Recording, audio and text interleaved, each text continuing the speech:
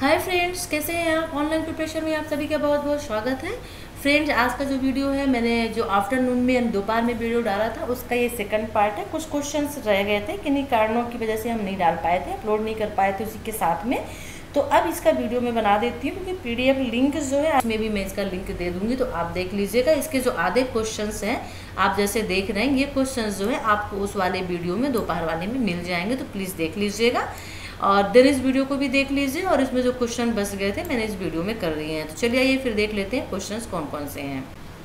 Friends चलिए first question ले लेते हैं और आपका पहला क्वेश्चन है कि भाषा अर्जन व भाषा अधिगम में अंतर स्पष्ट करना वेरी इंपॉर्टेंट क्वेश्चन ये है, देखिए। तो देखिए, भाषा अर्जन से तात्पर्य, स्वाभाविक संप्रेषण संप्रेषण परक स्थितियों, यानी जैसी स्थिति हमें घर पर भाषा सीखने के लिए उपलब्ध होती है, में भाषा का प्रयोग करते हुए उसमें भाषिक क्षमता का विकास से है। भाषा अर्जन भाषा अर्जन यानी जो हम घर में भाषा सीखते हैं, वही भाषा अर्जन कहलाती है, ठीक है ना? घर में रहते हुए जो भी हमारे घर के, हमारी फैमिली की भाषा होती है, जो बड़े लोग बात करते हैं, हम जो सीखते हैं, वही हमारी भाषा अर्जन होती है। यानी अर्जन यानी हम घर से सीखते हैं। दूसरी ओर भाषा अधिगम से तात्पर्य किसी किसी भाषा के नियमों और शब्द भंडार को औपचारिक रूप से कक्षा में बैठकर सीखने और तत्पश्चात उस भाषा की भाषिक क्षमता में विकास से है। इन दोनों का ज़िक्र भाषा वैज्ञानिक क्रेशन द्वितीय भाषा में क्षमता विकास के तरीकों के रूप में करते हैं और कहते हैं कि भाषा अर्जन और भाषा अधिगम यदि समरूप नहीं है तो मिलती जुलती प्रक्रियाएँ हैं। जैसे अब आप कह सकते हैं कि भाषा अर्जन जो हम परिवार से मिलती जुलती प्रक्रियाएँ कैसी हैं। देखिए, सीखते हम दोनों चीज़ें हैं। अर्जन करना यानी ग्रहण करना होता है और हम जनरली घर में वही भाषाएँ ग्रहण करते हैं जो हमारा परिवार, हमारी फैमिली बोलती है। ठीक है ना? यानी हमें उसमें कुछ सीखना नहीं पड़ता है। जो वो बोल रहे हैं, हम जो बोल रहे हैं, बच्चे जो सुन रहे हैं, वही वो बोलते हैं। ठीक है? हम उन्हें सिखाते नहीं है, वो कुछ सीखते नहीं है ऐसा। कोई स्पेशल क्लासेस कोई स्पेशल उन्हें चीज़ें नहीं दी जाती हैं। लेकिन भाषा अधिगम जो होता है, अधिगम का मतलब ही सीखना होता है। तो ऐसी भाषा जो हम सीखते हैं, जैसे एज ए स्कूल आप ले लीजिए स्कूल में जब बच्चा जाता है तो वो भाषा अर्जन कहाँ सीखा जाता है? परिवार में, घर में, और भाषा अधिगम जो होता है, वो स्कूल में और औपचारिक तरीके से। औपचारिक, अनौपचारिक। दो तरीके होते हैं तो भाषा अर्जन जो होता है, अनौपचारिक तरीका होता है, जो कि परिवार से सीखा जाता है, और भाषा अधिगम जो है, वो औपचारिक तरीका होता है, जो स्कूल से सीखा जाता है, ठीक है ना? इससे प्रयोग, भाषा प्रयोगशाला से भी सीखते हैं। तो इसमें व्याकरण भी होता है, सब चीज़ें होती हैं, स्कूल में आके बच्चा कोई भाषा सीखता है तो लयबद्ध, क्रमबद्ध तरीके से सीखता है, ठीक है? व्यवस्थित तरीके से सीखता है। भाषा अर्जन के माध्यम से बच्चे अपनी प्रथम भाषा में योग्यता विकसित करते हैं और यह एक अवचेतन प्रक्रिया है। प्रथम भाषा बच्चे की क्या होती है? मातृभाषा होती है, जो बच्चा अपने घर में सीखता है, वो प्रथम भाषा उसकी मातृभाषा कहलाती है, ठीक है ना? और उसी को वो विकसित करता है, उसी को आगे बढ़ाता है। भाषा सीखने वाले सामान्यतः इस बात से अनभिज्ञ होते हैं कि वो भाषा सीख रहे हैं, वे केवल इसी तथ्य से अवगत होते हैं कि संप्रेषण के लिए भाषा का प्रयोग कर रहे हैं। यानी इस प्रक्रिया में हम समानतः भाषा सीखते समय इसके नियमों को सीखने के प्रति सचेत नहीं होते, पर बावजूद इसके हमारे मन में शुद्धता के प्रति आग्रह होता है। व्याकरण की दृष्टि से शुद्ध वाक्य हमें सही प्रतीत होते हैं, तथा त्रुटियाँ गलत है। भाषा अर्जन का मतलब ही है भाषा को अप्रत्यक्ष, अनौपचारिक और स्वाभाविक रूप से सीखना। देखिए आ गया यहाँ पे। यानी भाषा अर्जन जो होता है वो क्या होती है? अनौपचारिक प्रक्रिया होती है। मल्टीपल चॉइस क्वेश्चन में ये क्वेश्चन आपसे पूछ सकता है, इसीलिए मैं इसका ज़िक्र हमने पहले ही कर दिया कि भाषा अर्जन जो होता है वो अनौपचारिक प्रक्रिया के अंतर्गत आता है और भाषा अधिगम जो है वो औपचारिक प्रक्रिया के अंतर्गत आता है। ठीक है ना? और दो तरह की प्रक्रिया होती है। स्वाभाविक प्रक्रिया होती है और एक और कौन सी प्रक्रिया होती है? आप कमेंट्स करिएगा, मुझे याद नहीं आ रहा है। भाषा सीखने की दो प्रक्रिया होती हैं। एक स्वाभाविक होती है, यही आपका अर्जन में आता है। दूसरी जो प्रक्रिया होती है, वो आपका किसमें आता है? भाषा अधिगम सीखने में आता है। व्यवहारिक प्रक्रिया राइट स्वाभाविक और व्यवहारिक आई थिंक्स ठीक है, अगर मैं गलत हूँ तो आप कमेंट्स कर दीजिएगा। तो स्वाभाविक प्रक्रिया भाषा अर्जन में आती है और जो भाषा अधिगम जो होता है, उसके अंतर्गत आपका व्यवहारिक प्रक्रिया आती है, यानी औपचारिक प्रक्रिया आती है। ठीक है ना? जिसे हम एक फॉर्मेलिटी के लिए सीखते हैं। तो ये वेरी इंपॉर्टेंट आपके लिए है भाषा अधिगम और भाषा अर्जन। ठीक है? ना तो इसे आप अच्छे से तैयार कर लीजिएगा। इंपॉर्टेंट क्वेश्चंस बनता है। चलिए आइए नेक्स्ट क्वेश्चन देख लेते हैं। नेक्स्ट क्वेश्चन है, प्रत्यय व त्रुटि में प्रभाव का नियम क्या है? अब आपको बताना है कि प्रत्यय और त्रुटि, ये किसका नियम है? थॉर्नडाइक का नियम है। ठीक है ना? ये भी वेरी इंपॉर्टेंट है। थॉर्नडाइक के जितने भी नियम है, आप पढ़ लीजिएगा। और बहुत ईजी भी है। अगर ये क्वेश्चन आता है तो बहुत आराम से आप लिख सकते हैं। तो देखिए, विभिन्न प्रतिक्रियाओं में से वह प्रतिक्रिया जिसको करने से आनंद व सुख की अनुभूत होती है, वह शीघ्रता से सीखी जाती है और वह प्रक्रिया जिससे दुख प्राप्त होता है, वह शीघ्र ही भुला दी जाती है। ठीक है ना? दूसरे शब्दों में, जिस व्यवहार का परिणाम सुखदायी होता है, उस व्यवहार को अपना लिया जाता है। ठीक है? यानी ऐसी दो प्रक्रियाएँ होती हैं हमारे जीवन में, जिसे हम सुख और दुख कहते हैं। सिंपल लैंग्वेज में हम आपको समझा देते हैं। अब देखिए, जब सुख वाली चीज़ें हमारी लाइफ में आती हैं, बहुत हमें अच्छा लगता है, हम इंजॉय करते हैं, आनंददायक होती हैं तो हमें बहुत अच्छा लगता है। हम चाहते हैं कि यही हमारी लाइफ में यानी सुखी चलता रहे और दुख न आए। लेकिन दूसरी भी प्रक्रिया है दुख। और जब दुख हमें कोई चीज़ प्राप्त होता है, ठीक है ना? तो हमें बहुत दुख होता है और जल्द से जल्द हम उस चीज़ को भुला देना चाहते हैं। सुख को तो हम लॉन्ग टाइम याद रखना चाहते हैं हैप्पीनेस को लॉन्ग टाइम याद रखना चाहते हैं, लेकिन दुख को हम बहुत जल्दी भुलाना चाहते हैं, ठीक है? या कोई हम काम ऐसा करते हैं जिसमें हमें सुख मिलता है तो उसको हम जारी रखना चाहते हैं। हम चाहते हैं कि नहीं, ये कंटिन्यू रहे जिस काम से हमें दुख मिलता है, हम उसको जल्द से जल्द ख़त्म या बंद करना चाहते हैं, ठीक है?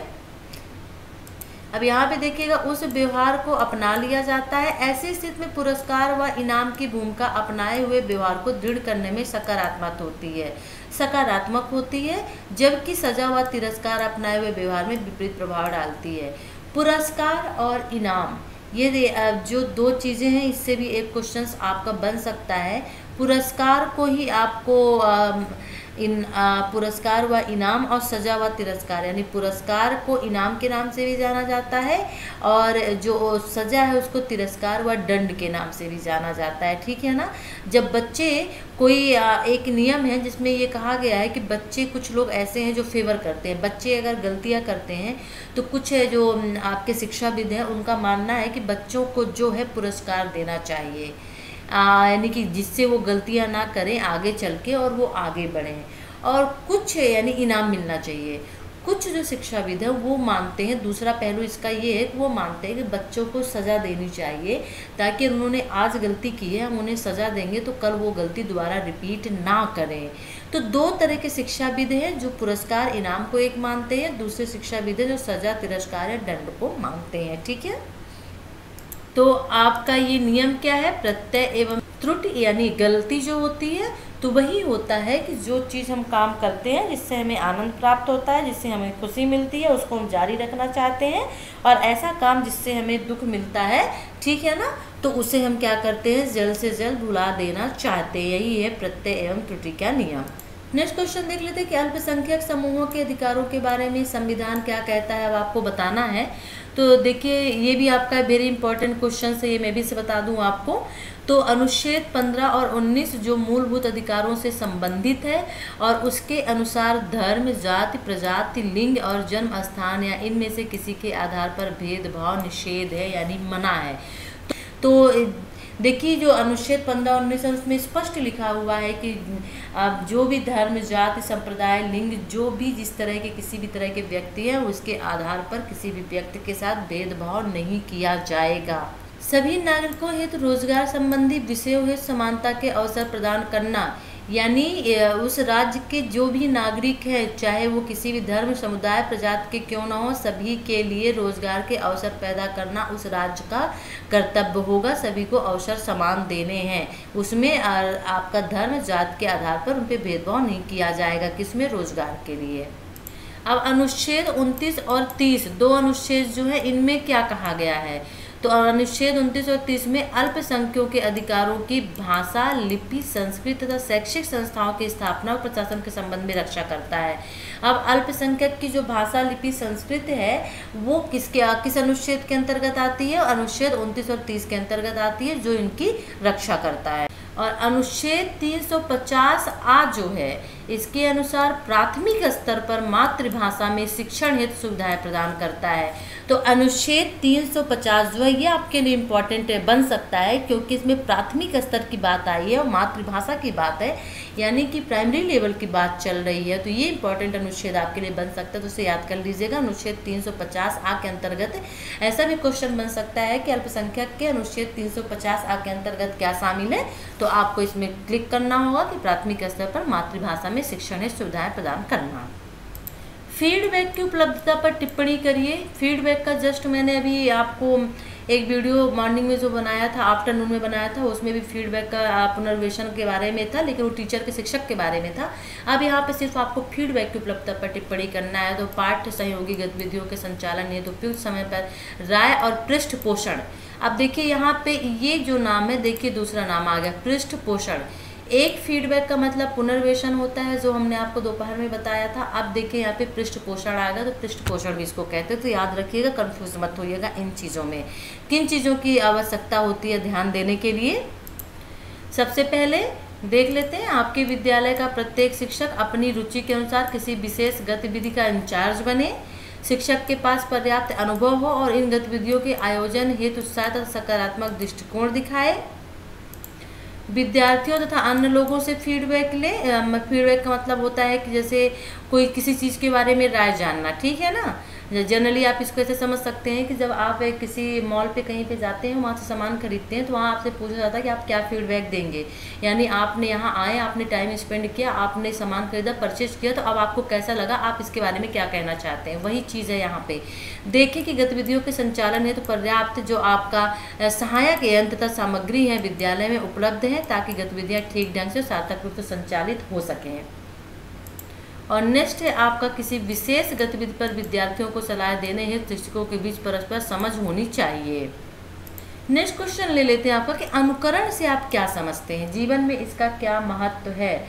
हम जो भी क्वेश्चन लेके आते हैं, आपके लिए इंपॉर्टेंट क्वेश्चन लेके आते हैं, ये मैंने पहले भी कहा था, अब भी मैं आपको बता दूँ, जो मुझे ऐसा लगता है कि ये आपके लिए इंपॉर्टेंट हो सकता है। अधिकांशतः व्यक्ति किसी कार्य को अनुकरण से, व्यवहार के अवलोकन से और अन्य प्रकार की क्रियाओं से सीखते हैं। ठीक है ना?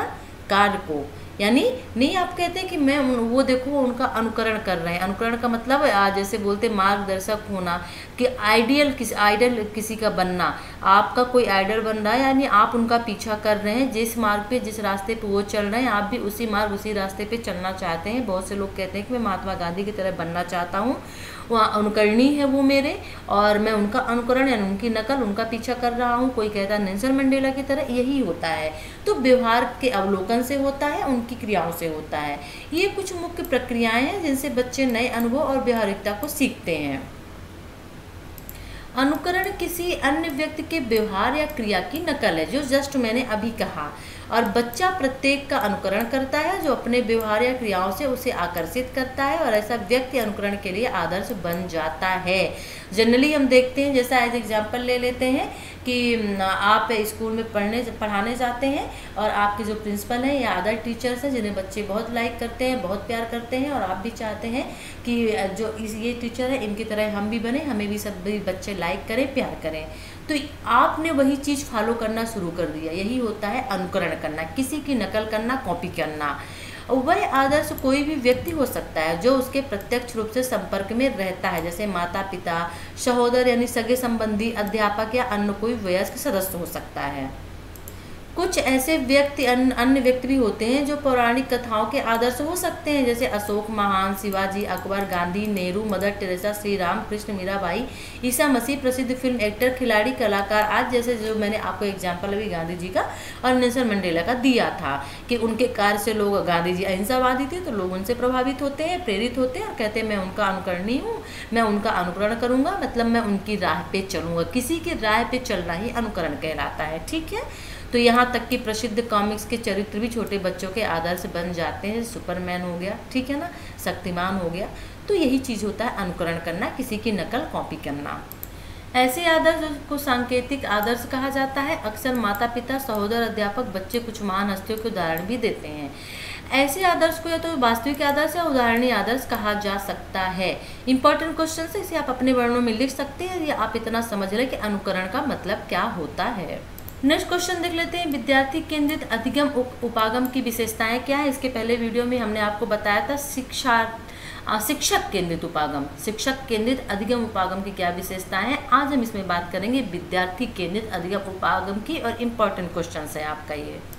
इस उपागम की सभी अधिगम विधियाँ और व्यू रचना व्यक्तिगत विद्यार्थी की आवश्यकताओं का आधार बनती हैं। अध्यापक शिक्षण अधिगम प्रक्रिया को शुरू करने से पहले बच्चों को प्रोत्साहित करने की कोशिश करते हैं। इस अधिगम प्रक्रिया में शिक्षक एक सुविधा प्रदान करने वाले की भूमिका निभाते हैं, न कि उपदेशक की। और इस प्रक्रिया को सुविधाजनक बनाने के लिए स्थितियों का सृजन किया जाता है।